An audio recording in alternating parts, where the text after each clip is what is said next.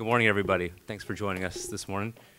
Uh, we have an exciting day here in San Antonio at Northside. Uh, we'll have Katie starting off. We'll have Ryan coming in afterward and Missy following that. And then at 10 o'clock, we'll go out and have an open training session. Our, our team will come in two different groups. So there'll be a 10 o'clock group and an 11 o'clock group. And then we'll, uh, that'll be open for you guys to shoot. And then we'll have some interviews uh, in, the, in the indoor pool. We'll give you all some shade and, and the athletes some shade. And then we'll have Michael and, and Nathan back in this room later on. So uh, it's been an exciting camp. We arrived on Tuesday. And uh, I'll turn it over to Katie and let her tell you about what we've been doing here and how things have been going. So to my left is Katie Ledecky. Um, you, want to just give a brief uh, yeah, opening sure. remark? Um, it's been great being here in San Antonio for a couple days. Uh, it's been a lot of fun with the team. We're all getting along really well, coming together as a team, and um, having a lot of fun. Still training hard and getting ready for, for Rio. We don't have any crowd mics, but if you could raise your hand, we'll call on you. And if you could just identify yourself to Katie, who you are. And, oh, there is there are mics. Oh, fantastic. Um, just raise your hand, and, and we'll get you. Karen. Katie, when you um, are talking to young kids, when there are young swimmers who want to meet you, how many of them say they're distance swimmers, and do you get the sense they like distance because of you?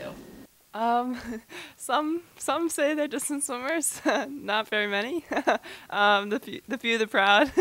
um, I think, um, you know, I, I hope there are, are people that and young swimmers that that want to try the distance events. I know I always wanted to try every event when I was younger and kind of just see which ones I liked, which ones I was good at, um, and I found from an early age you know 10 11 12 that i liked the distance events and that i was good at them. So i stuck with those and um, i think i hope that young swimmers are inspired or encouraged by all of us on the team. Um, and i think um, us distance swimming has come pretty far in the last couple years um, not just me i think um, overall. Uh, I mean, Leah and I are going in to Rio as top two in the world in the 400, and um, she had a great 800 as well in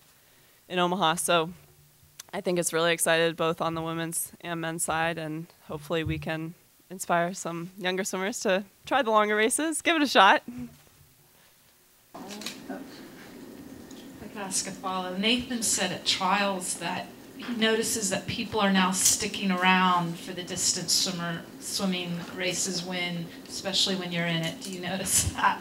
Uh, yeah, I mean it's always good when the crowd sticks around. Uh, sometimes the distance event is at the end of the session or, or something like that, and you always wonder, oh, will people just leave or, or whatever? But um, no, it's it's been good to see everyone stick around, even at Grand Prix kind of meets, um, and just you know to have have that support means a lot to us. And uh, we we we have the long races. So yeah you know I understand that you might not want to sit through it all but they can be exciting races. And uh, hopefully we can can continue to make them exciting.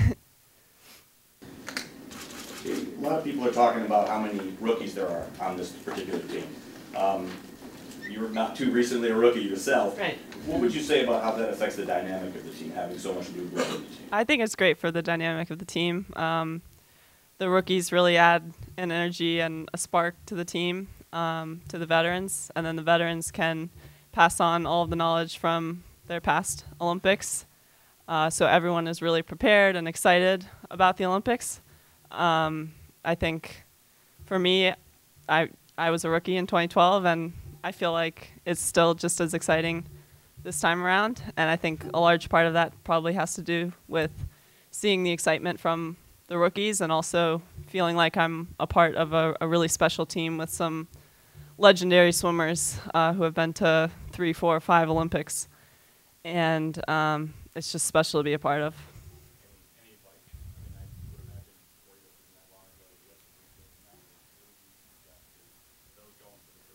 Yeah, I feel like I'm still learning a lot, but I think just to enjoy every every minute of the experience. Um, the Olympics is unlike any other meet. Um, it, you're in the village with people from all different sports, all different countries, and you get to interact with them. And I think you really should value and appreciate those moments and um, spend the time just kind of looking back and thinking, "Wow, this is a this is a pretty cool thing." And uh, we all want to do our best in the pool to inspire everyone back home. And I think just just kind of enjoying it, not getting nervous. Um, made it this far, and uh, it's time to just sort of show what you you can do. Kind of our time to shine. Uh, for Sports Illustrated Kids, what made you want to start swimming? I started swimming when I was six years old uh, with my older brother Michael, who was nine at the time, um, and we joined a summer league swim team, the Palisades Porpoises, and we loved it right from the get go. And um, and then after that first summer of summer league swimming, we joined a year round swim team, and I've been on the same swim team ever since. For Kidsville News, what, what advice would you give a parent that has a child that's young and really into competitive swimming? What, advice would you? Uh, just to let their kids um, do what they have fun with. Um, I played a number of different sports growing up and um, did a number of different activities, and my parents just let me do what I loved, and they never pushed me into swimming. They never pushed me into any other sport. Um, they just kind of gave me all the options, and I really loved that. And then as I got older, I kind of would pick swim practice over basketball practice or pick swim practice over soccer practice. And I just sort of veered towards swimming. And eventually I was not doing any of the other sports and was really just focusing on school and swimming and, um, and everything else.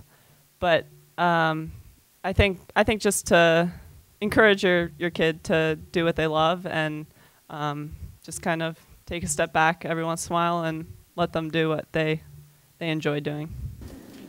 Katie, you were saying this was your second Olympiad. You said the team's coming together.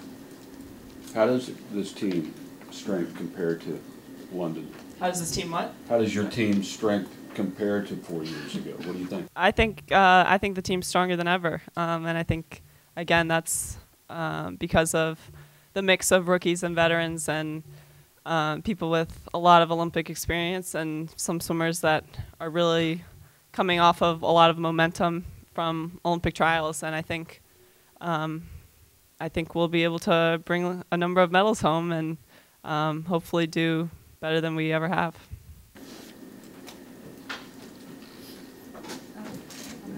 Uh, this is Wing Chun from China Central Television. Uh, you currently hold a lot of world record, and I just want to know: Do you do you expect there's someone else is as competitive as you are and keep you more motivated?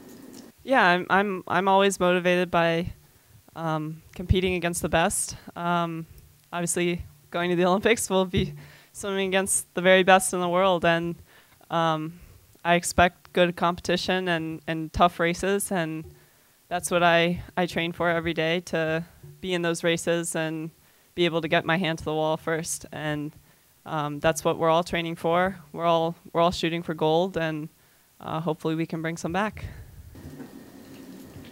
Katie, were you in the room the other day when Pop came? Yeah, Pop yesterday. What was his message to you guys and for San Antonio media? It's like, how cool was that to have him speak to you? Yeah, it was really cool. Um, it was pretty unexpected for all of us. Um, and I guess he brought Tony Parker, and I guess uh, USA Swimming didn't even invite an athlete. Uh, Coach Pop just brought him along, so that was really cool. Um, so yeah, his message was just to, you know, enjoy representing the U.S. And um, he talked a lot about sort of the qualities he looks for in his players, and we had the opportunity to ask him questions, and that's where he really talked about his team and um, kind of again the qualities he looks for in players, and some of he just told some funny stories and uh, was a really cool guy. Katie Tim Duncan was a 400 freestyler before he turned to Oh, yeah. basketball. So now that he has time on his hands, I didn't know he was a former freestyler. Um, the when you had um, Bruce come as the coach right after London, that could have been a really difficult difficult situation. Why do you think it was so seamless a transition?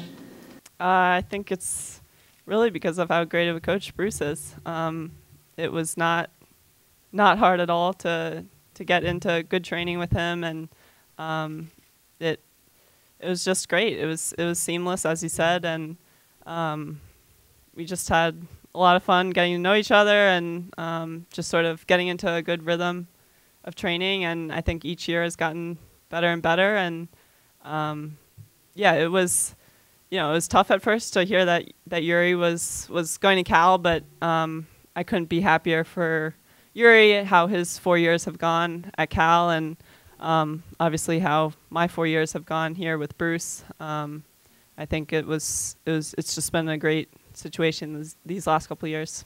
Do you think the fact that you had had that month with Coach Urbanchek and kind of knew the color code, Yeah. workouts, and had liked that, did that help or make a difference? Yeah, and I didn't even know um, what Bruce's training philosophy was, or or how he how his practices ran, or anything like that. But I knew that um, that he had worked with John Urbanchek for a while, and and learned a lot from him. And with how much I loved John at the training camp uh, four years ago, like this training camp, um, I knew it would be, um, uh, you know, I knew Bruce would be a great coach.